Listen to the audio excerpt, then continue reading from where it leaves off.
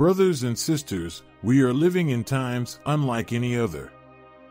The messages given to Luz de Maria are not just some distant prophecy, they're a reality unfolding before our very eyes.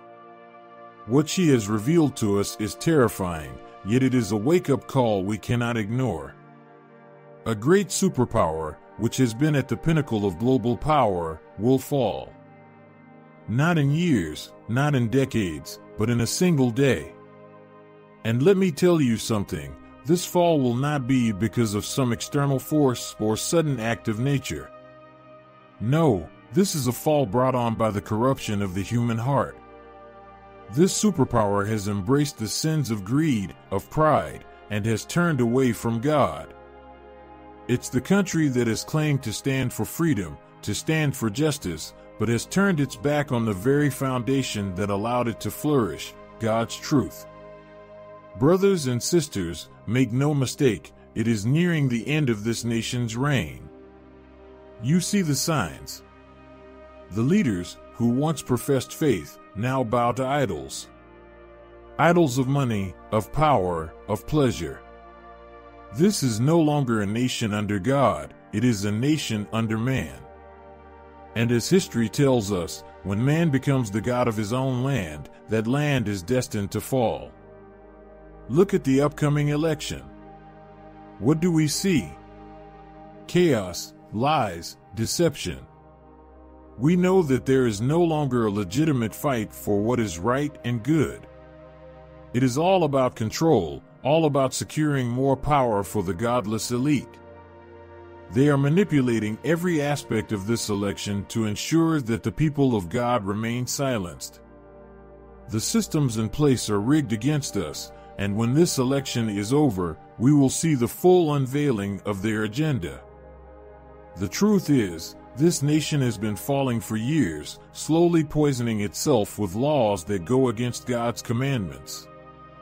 Abortion, same sex marriage, the transgender movement, all these abominations have been codified into law, celebrated by the masses. This is not a slip or a small fall. This is a nation on its knees, worshiping false gods and daring to call it progress. They are no different from the ancient civilizations that fell in disgrace Babylon, Rome. It's no coincidence that Revelation 18 speaks of the great city, Babylon, which was destroyed in an instant because of its corruption, its filth. It stood mighty, thinking it was invincible, but God's judgment comes swiftly for those who defy him.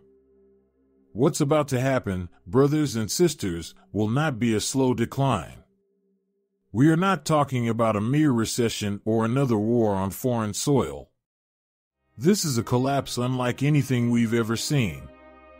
The foundations are crumbling from within. The economy, which has been built on greed and exploitation, will collapse overnight. The stock market will plummet, banks will fail, people will panic. The streets will be filled with unrest, not just political but moral. You will see people fighting over food, over money, over survival.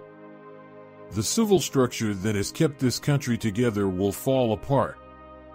And this is all because we have forgotten God. The real tragedy here, the real horror, is that this could have been avoided. God's mercy is endless, His love is boundless, but we have rejected it at every turn. We've kicked Him out of our schools, out of our courts, out of our families.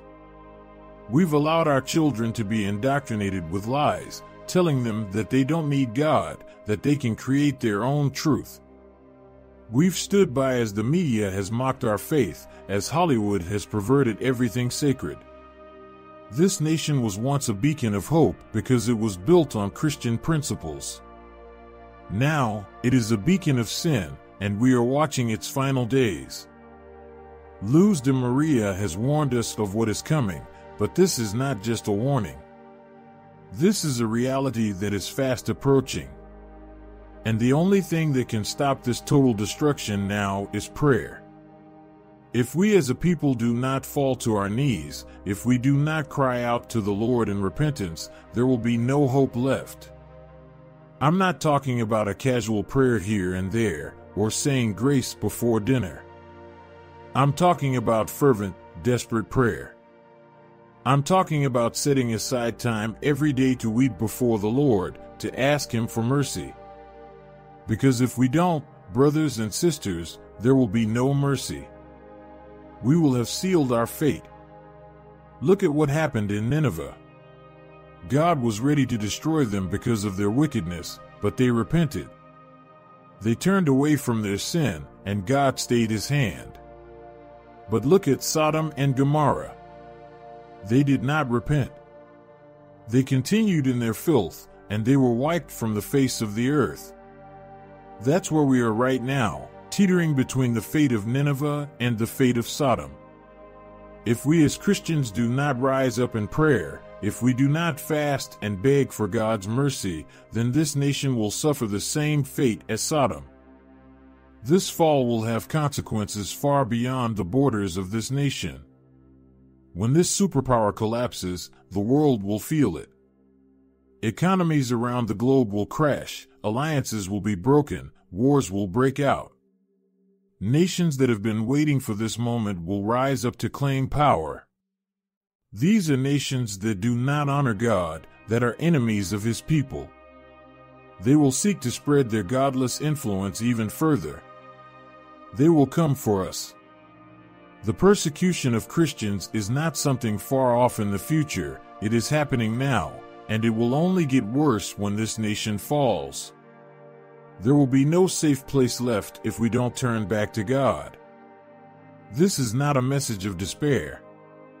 This is a call to action. God is merciful. He is waiting with open arms for his people to return to him. But the time is short. We don't have decades to figure this out. The warnings have been given, and now we must respond. We must fight this battle in the spiritual realm. We must put on the armor of God and stand firm. The devil has been working tirelessly to bring this nation down, and we have let him. But it's not too late. We can still turn this around. But it will take prayer. It will take repentance. It will take a full rejection of the sin that has infiltrated every corner of this country. Brothers and sisters, the time is now. We cannot wait for someone else to fix this. It is up to us, the people of God, to rise up in prayer, to fast, to cry out for mercy. God has not abandoned us, but if we continue down this path, we are abandoning Him. And when we do, the fall will be swift and devastating. Let us return to God before it is too late. Pray like your life depends on it, because it does. Pray for mercy, pray for healing, and above all, Pray that God will forgive us and spare this nation from the judgment it so rightly deserves.